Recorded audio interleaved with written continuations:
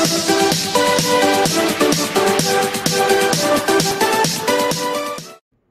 welcome back to my channel guys. My name is Floyd and this series is uh, Mr. Minimi. Today I'm going to show you guys how to do uh, lamb chop shoulders and mushroom broccoli. But before we get into the video guys, please like, comment, subscribe, hit that notification bell button so you'll be first to know when I post another video.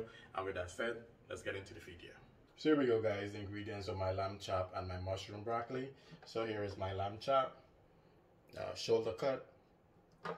I have some leftover stuff I had in the fridge, some uh, celery and some scallion in there. I have some uh, cumin, some ground uh, turmeric, uh, ginger, uh, pepper, salt, some sweet paprika, Dijon mustard.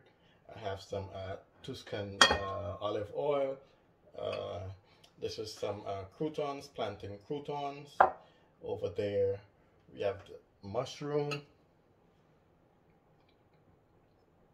Got some fine thyme here. Some spinach.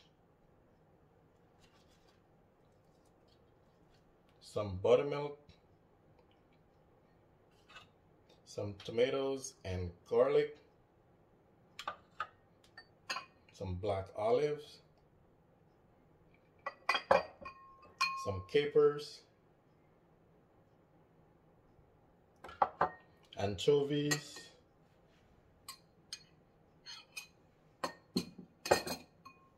and lastly, my broccoli. So,